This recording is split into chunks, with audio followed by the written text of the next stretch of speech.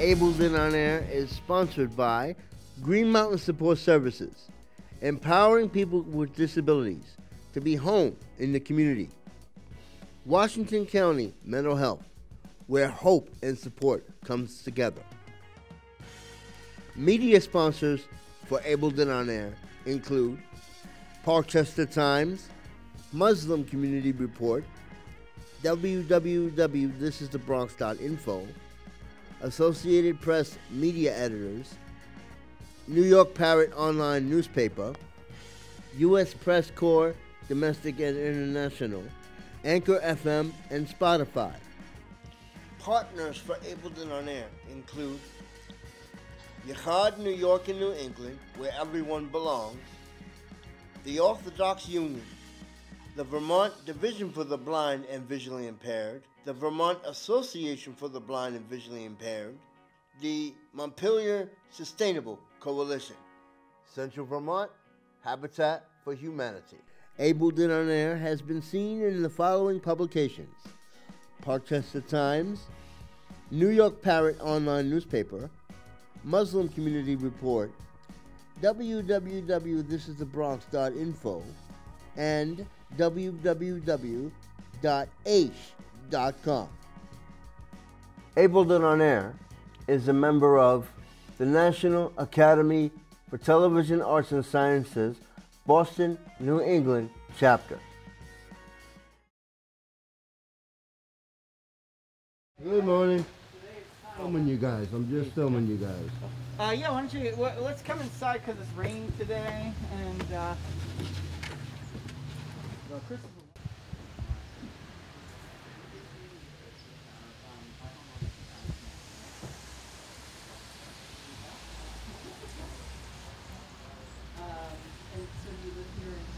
And, uh, this is actually quite an improvement from where it was a year ago, as you can. Which is Bruce Landry. This Bruce Landry. That's Bruce, yeah. So Bruce, do you, yeah, um, uh, you wanna, Yep, so today, what we're gonna do today is, uh, if the weather permits, and it looks like it's not going to, I wanted to get the shed roof on and do some work out there. But if it's raining, I've got a plan B to work in the basement. Well, first off, right where we're standing right here, that floor has to get ripped up and in front of the door has to get ripped up. Cause we've gotta put some insulation in the floors and we gotta put some more insulation in here. Once all the insulation is in place, then we can frame off the floor and put the plywood down. So that's gonna close that area off. We also have to go upstairs and frame this off and get some plywood up on the floor. So this, this was a staircase that was here last week. We've taken out. Once we've got this one installed, we had that one taken out. So that's gonna be our inside project. There'll be four or five people in the basement, four or five people upstairs, and a couple of people cutting framing. So I'll try to separate everybody. What I will have to know is who knows what end of the hammer to use? Who is comfortable? Not everybody does. I say get a hammer, they get a screwdriver. I say, well, pretty close. Oh, we have an SNL skit, don't Keep, keep the screwdriver, you may need it. Um, so I need to know who is comfortable with power equipment if I'm having them doing any cutting. And if I'm having them direct anything with some of the less skilled workers. So we have all levels. We, we don't care who shows up. We, we work with whoever shows up. So I will need to know your comfort level and your ability to work with power equipment or things of that nature. So um, that's the work we're gonna do today. If we're gonna do, uh, safety is gonna be any power equipment, you'll get, I'll go through a quick training on it, even if you know it. So you're familiar with the piece of equipment, whether it's a circular saw, chop saw, table saw, screw gun.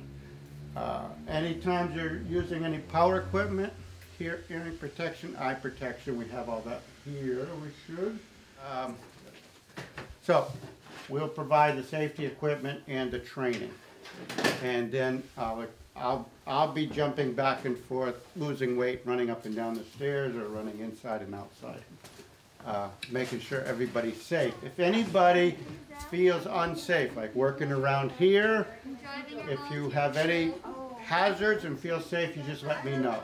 I don't wanna put anybody in a position that they feel uncomfortable. So you just have to come and tell me personally, you don't have to make a big announcement about it, and we'll make corrections. If we're working in groups and there are four or five people more or less together, if one person says to me, I will feel more comfortable if everybody wears a mask and we all wear a mask. And I, you just have to come and tell me, I won't make any announcements and point anybody out, we'll just say, everybody put a mask on, and we'll just respect everybody, that's all. we But want we'll every- know who went and talked to you. 'cause Huh? they- We'll know who went and talked to you because they left the group. No, I'm just kidding. I may come back in ten, I'll wait ten minutes. Okay. A couple people would have went to the bathroom Right. in that time period, right? But the point is, we wanna respect everybody's safety, that's all.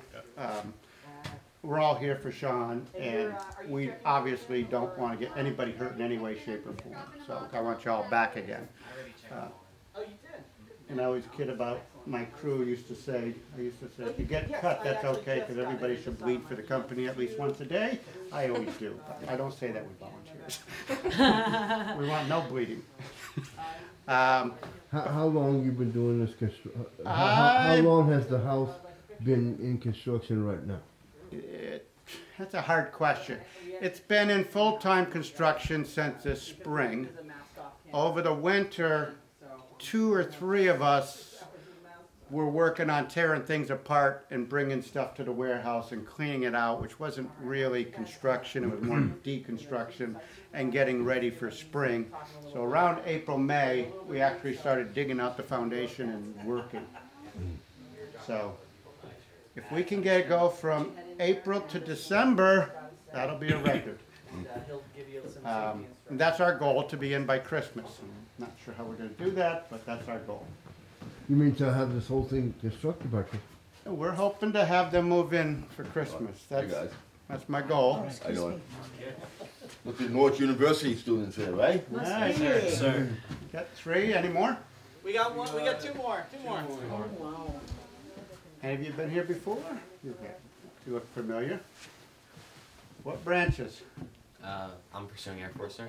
Air Force? I'm also pursuing Air Force. Oh, good man. I'm Army. Alrighty. Pursuing Navy at the moment. Damn, my son was in the Marine Corps. No. About ten years ago, we were doing a house in the valley and we brought a bunch of rooks out. And I literally had like eight Army, Navy, and about four Marines. I said, that's about equal. So we're gonna dig trenches. We're gonna dig trenches and we're gonna see who finishes first. Any guesses? Marines, bro. There you are. Oh, come on. Ollie, who's the other guy right They there? Air Force. He's Oh, Ollie- Oh, oh, oh there you go. Oh, I was Army too. Yeah, so was he. So anyway, there's an ongoing battle between the Air Force and the Marines. My son will tell you all about it. I used that to get a little competition, and boy, did we get a lot of work done that day. Yeah. There was dirt flying. Anyway, uh, does any of your crew comfortable with power tools? Know how to read a tape measure? All right, good. So, I'm only here till about eleven thirty, but. anyway. oh, you're gonna work too? I Well, thought that I'm- was your work. Well, this is That my is work. important. This is my work. I'm here till about eleven my best so I will get as much as I can. And edit a lot. Yes. and please make sure when you guys are using the glue gun that it doesn't saw any. You know, use the right tool. Yeah. Are we all signed in? and Everybody's all set. Thank you guys very much for, for sticking with us. This Delta variant has thrown a bit of a, us in, into a, you know, we're trying to make sure keep everybody safe. As nobody wants to work in here with uh, masks on for six hours. Uh, so um, vaccines and everything like that um, requirements and keep you all safe. Um, but yeah, we are all set, Bruce. Okay. We will be doing some framing, some flooring, we'll be doing some insulating. Insulation downstairs is pretty simple, not a lot of power tools, although there may be a saw or two. Uh, but it's mostly cutting, fitting, gluing, rigid insulation. Um, we will be framing flooring and putting plywood down, we'll be ripping flooring up. And upstairs, we'll be getting this opening framed off, and then the entire upstairs gets a couple layers of plywood uh, three-quarter inch or one-quarter inch, which we gotta take out of the truck before it gets too wet, but it's not raining that much. So that's the, that's what our goal today, is to get this close, get the basement insulated, get this framed, get some plywood down, and get as much of the flooring accomplished up there as possible today. Does anybody have any questions? Perfect group. You scared group. them. You scared them all. Scaring them all. well, and uh, for for the folks coming from the Faith Community Church, um, so Sean Bates is, is a member of your your congregation. He's uh, and um, and so that's why uh, Pastor Autry has invited you all to come and join us. Um, and that's a really important piece of our work is that we build community. Um, you know, we, we have homeowners, uh, not just renters, and that means that these people are uh, in this community for a long time. And so it's great to have people from his church, uh, from where his workplace, to come and support him. That builds that community. So you all are part of that. Um, but in addition to that, as you know, Egan knows from last time when he was here, uh, our our work, our mission, we build affordable housing, and that is made possible because we use volunteers. If we didn't build volunteers, this house would probably use volunteers. This house would probably be double what it's actually costing us. It's about it's going to cost us about one hundred and fifty thousand dollars to build, um, and that's with lots of grants and everything. With labor, it'd be over three hundred thousand, and it would be really hard for us to make this affordable. So you guys are actually part of how we make that possible, so that we can offer then a really low affordable mortgage. Again, it's not a giveaway program. We partner with our homeowners. Those mortgage payments get recycled back into our homeownership program, so we can build more houses. So you all are making this possible. Uh, so I just can't thank you enough for being here and helping out, and uh, and we appreciate y'all being patient with us as we uh, figure out how to work 11 people in indoors where we were planning for being outside. So And thanks, I'm- thanks Bruce. And I'm gonna, I want you to time, I want you to time me. Just to let you guys know, that this, all today, that I'm here for, for the next, uh, hour or so, two hours, will be part of a public service announcement for Habitat for Humanity, Central Vermont, and a second part. We, we, we're gonna put this into a second part for Habitat for Humanity. Larry's with Abled and On Air, which is an ORCA program, and he had us on to talk about uh, how we build a home ownership opportunities for mobility challenged individuals. And he's coming here to get some B roll. We've also offered to do a public service announcement when you're a nonprofit occasionally. Uh, TVs and radio stations uh, advertise your pro- your programming for free. So that's what Larry's doing for us. Thank you, Larry. So, really quickly, this is a one of a kind. So Central Vermont Habitat uh, builds only, so far, in the last three, high-performance homes by Efficiency Vermont standards. So that means. Define high performance if you will. Right, so that means that the walls are really thick, like this one's gonna be seven, nine inches thick with rigid insulation and rock wool insulation. It also is gonna be airtight, which means that the air change per hour, the volume of air in this house will naturally escape, but only one air change per hour, which is really tight by construction standards. Um, those are very high benchmarks. There's only a couple of habitats doing it. There's only a dozen or so contractors doing it. This entire house will be heated by a heat pump mini split, just an electric compressor. is gonna heat the entire house ninety-five percent of the time of the year. It's So- not there yet, by the way. He's just motioning Yeah. to where it it's will just- be. Yeah. It's just, it's a compressor outside and it's a little electric head up here that blows heat in. Um, it looks pretty simple, but most people cannot do this, so, and nobody in, in habitat world in Vermont has ever attempted to take a nineteen twenties house, convert it This into house is from nineteen twenty. nineteen twenty. It's a hundred-year-old house, and we are the first one, the only ones to try to do a gut rehab up to high-performance standards. Most of the habitats are not even building new up to high-performance standards. So, we have a very high benchmark. So, you guys are part of that process of a one-of-a-kind house here. And, uh, we hope to build more, rehab more houses like this in Barre.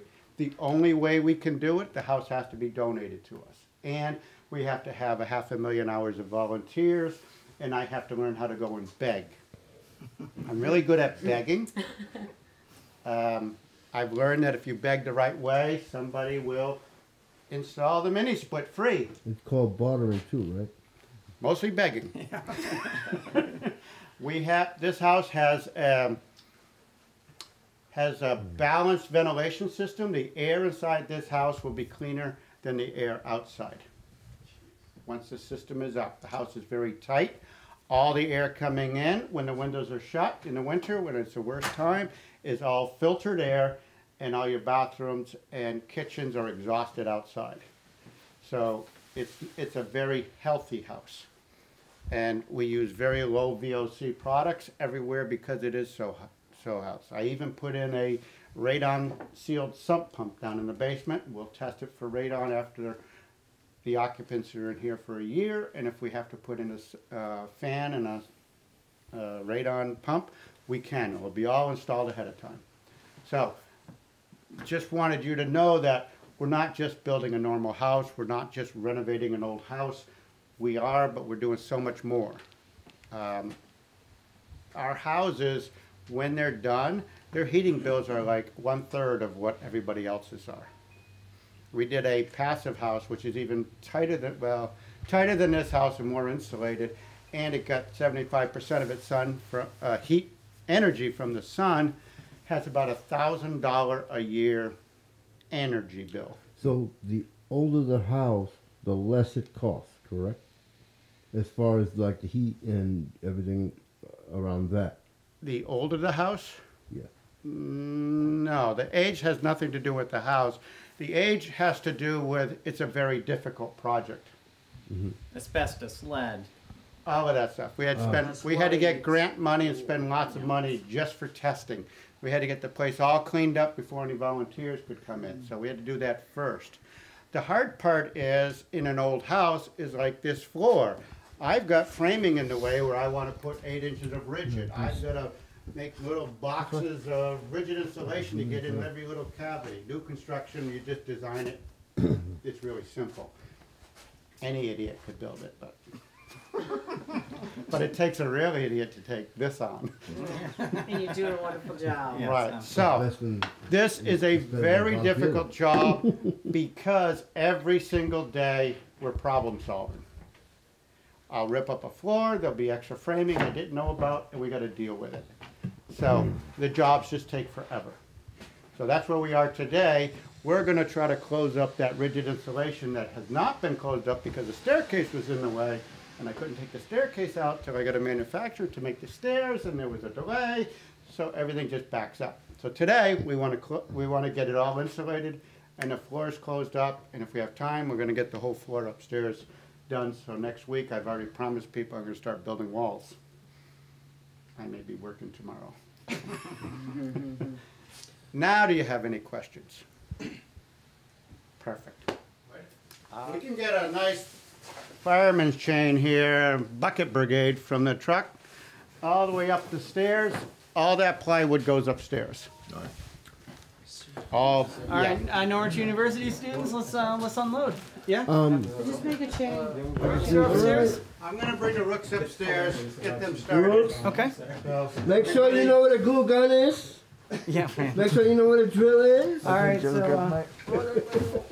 Uh, I was joking. it's all right. Thank- Uh, so you said you have um, other food stuff. No, I got buns and I got a tablecloth and napkins and plates and a scoop too. That's what I got. Okay. Wonder uh, what we can do to. Oh. Everybody okay? A little bit. I'm here because basically for my church, That's why I didn't want to be community on. church from Mount Berry, Vermont, big community church. Uh, I've been involved in public service for like over 25, 30 years. Various what is tr- your what is your background? Is your background in construction? Uh, it's not in construction, but I was public service with, right uh, at the back. I was a police officer in Boston for eight, nine years. I worked for the state in Rhode Island, about 10 years working corrections, which was part of public service. I was part of a homeless shelter in charge of that for like 50, 10 years in uh, Nashua. So my basically all my life is involved in community service and helping people. Uh, so that's that's the main major reason why I'm here today. Also, when I know they need people to help somebody with his house, to upgrade it for the person who ha- who's for, which is Sean Bates. So that's the reason why I'm here today, mostly to help out most most I can. Okay. I'm just getting little bits and pieces. No, don't scuff the walls. I'm getting bits and pieces. I'm putting it in sections too. So yeah, we, uh, Yeah, the other way in. Let's move the water. Yep. Right after you, sir, I'll squeeze by here. I'll go that direction. Bits and pieces, bits and pieces. Food department over here, okay? Where's the buffet? All the rest of the stuff's right here. I brought food, I did. I'm joking, I'm joking, I'm joking. No. Mm -hmm. By the way, um, that, thank you so much for letting me come Let's move today. this Oh, cord Larry, out of the way. uh, we're loving having you here, man. This is excellent, really. What's that? What else did this 1920s house have that you guys are fixing or? Well, so it had asbestos in the basement. Yeah. It had lead. All the side of the building is painted with lead paint. Ooh, Uh, and so we had a grant from the Vermont Housing and Conservation Board to paint this, uh, the building.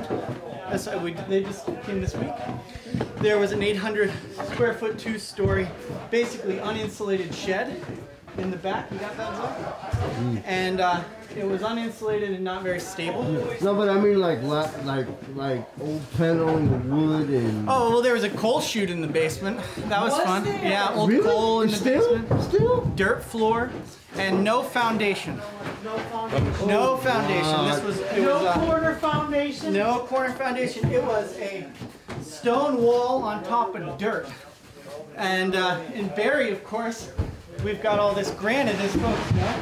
So In 1920s even, wasn't that when the granite that was when the granite industry was thriving. So all these houses are built on granite stone foundations. So this has a granite stone foundation, but it was right on top of the dirt. So what we had to do was build interior concrete foundation walls. So interior fo- foundation walls insulated with a vapor barrier.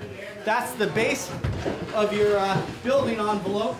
You don't want cool air coming in from the basement. Right. Because then what happens is air, hot air goes out of the top, right?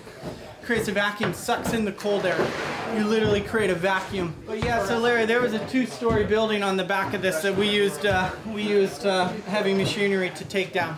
Oh, yeah? Wow. Yeah, just tore it down because it was No, but no gold mine in the basement. no gold mine in the basement. No. Yep. All right, guys, we're we're changing it up just Yeah, a little bit heavier now, so. way heavier. Maybe a So, couple guys doing this. with, uh, two people on each one. Yep. Michael Landon always had a great, um, cause I'm, I'm in production stuff. He always had a, a, a- a great outlook on how to deal with the family in his productions. Oh yeah, he was he was like a he was really a father figure. I saw a documentary on uh with um what's her uh Two up there. They got two up there. Laura Ingalls. Come down and grab What's her name? Melissa Gilbert with her talking about him. Not being very productive. Is there something I can do? Live, and if I can help somebody else to have a place to live and a home ownership, I'll be more than happy to help. And your name is? Susan Landry. And you, what, what position are you, are you, do you work or? I'm retired. Huh? I'm retired. Retired. And your job, if you don't mind me asking? I was a cook. You're a cook? Yeah. Chef? No, I wasn't a chef. Well, I like to think I was a chef, but I, I just, yeah, I'm a foodie. Once you get, once you get a couple of them up. There we go. Yep. Well, I told you that, so it's Yep. safe. Just Try- nails in them. Yeah, be careful if you Yeah. can, not to break two, because we're gonna reuse them.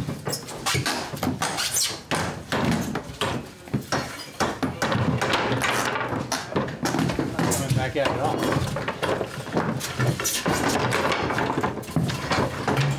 Sorry. Go ahead, you do your thing. If you guys need to push me up just, you know, tell me where, not push me, but Yeah, what's I'm trying to use it. tell me where I need to go. That's all. I'm gonna get a hammer out of my box and.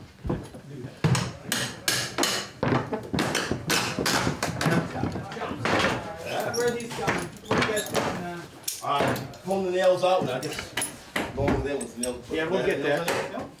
We're the ones with the nails that are taking out, guys. Over there? All those. All these right here. Hey guys, and, and try your best to um, not break anything because we're uh, we're gonna try to them. We're gonna use them. Yeah. So you're reusing and repurposing, right? That's right. Yeah, we uh, we're bringing in somebody that's gonna actually sand all the floors and make these look like brand new. Wow. Yeah. Oh, this house, when Sean moves in here, So- this is gonna be almost So I, I have a question. So so we can use this. Um, in, in terms of repurposing, uh, in, in terms of repurposing supplies. Now, obviously, you guys get painters and you get supplies that, that's new. But how do you repurpose things? I'm, I'm a little confused there. Well, look, at you're seeing it right here. Uh, yeah. We're pulling up the old floor taking out the nails, and uh, so we're gonna. That's currently a hole where the stair was, stairwell was. We're gonna move Well, that. the stairs there. So Well, this is the old stairs. These are the new stairs. These are not. good to be, it's good to be old fashioned too. I like them. Yeah, they're nice. Hey, these are the places really open. Oh, I know. I wonder if, have you guys found anything in the walls? Oh, like a bag of money? No, I'm serious. We, we did a house one time, and there was some newspaper. There was a newspaper on the wall. We found. Oh, oh, an old We newspaper. found. Yes. Working on my house. My house is way older than this one. We found uh, old shoes in the walls and all sorts of stuff. Yeah. Yeah, it was it was weird. Did you keep them or? Uh, no. Thought about it, but my wife throws out everything. and it's right away. Why would somebody? From here up. So we're gonna go here, here, here, and then we're taking all of this off. This stays, Leaving this this stays. and leaving this piece right here too. Right. Okay. So we're trying cut that way. Right, right underneath here is a bay that we wanna put insulation in from the top. Ah, so here. So here's, as far as I can go that way. right, just start at this hole right here, more or less. Just eyeball it, and pull the first layer up, and then you can cut.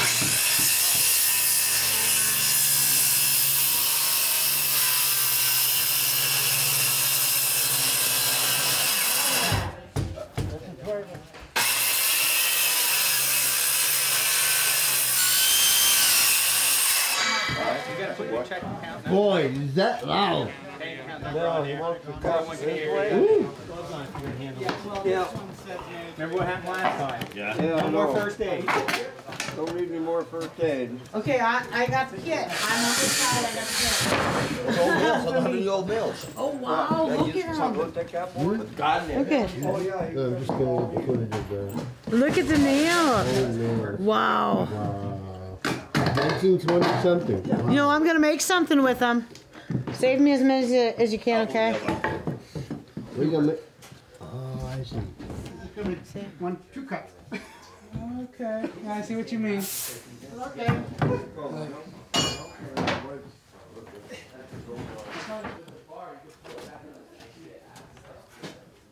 That's better.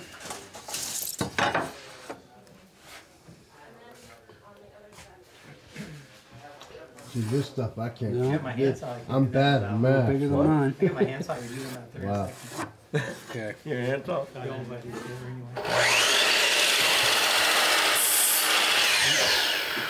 Laser is sight. Okay.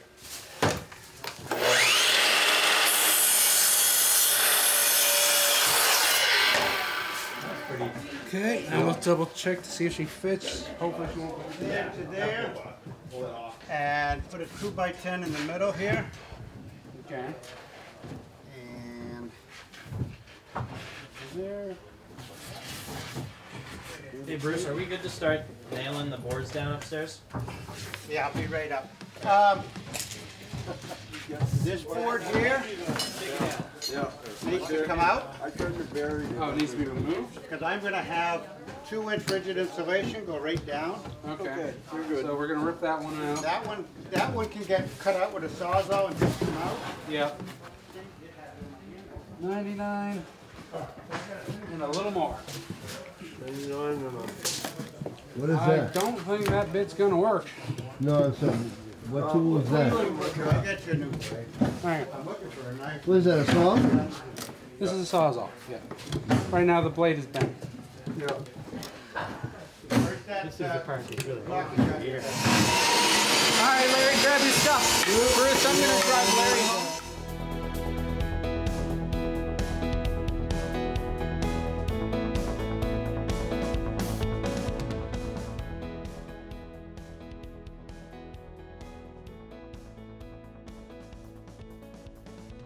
Abled and on Air is sponsored by Green Mountain Support Services, empowering people with disabilities to be home in the community. Washington County Mental Health, where hope and support comes together. Media sponsors for Abled and on Air include Parkchester Times, Muslim Community Report, www.thisisthebronx.info, Associated Press media editors, New York Parrot online newspaper, U.S. Press Corps domestic and international, Anchor FM, and Spotify. Partners for Abled and on Air include Yachad, New York and New England, where everyone belongs, the Orthodox Union, the Vermont Division for the Blind and Visually Impaired, the Vermont Association for the Blind and Visually Impaired, the Montpelier Sustainable Coalition, Central Vermont Habitat for Humanity.